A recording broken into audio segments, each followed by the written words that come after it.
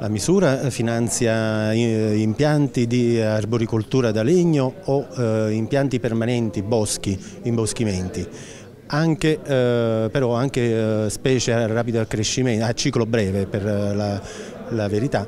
sarebbero i pioppi, pioppicoltura. Gli obiettivi sono quelli di stoccaggio di carbonio, quindi di investire terreni agricoli o non agricoli eh, con colture permanenti, più o meno permanenti insomma,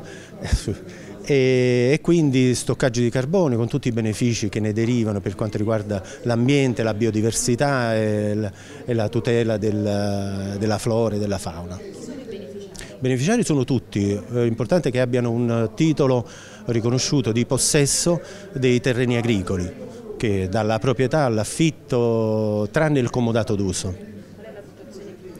Sono, su questo bando sono 10 milioni e noi finanziamo con questi 10 milioni soltanto i costi di impianto, perché come ho già detto poi dopo, laddove sono riconosciuti, vengono pagati anche dei premi annuali per la manutenzione per 12 anni o la perdita di reddito se erano terreni agricoli, cioè terreni sottratti alla normale coltivazione.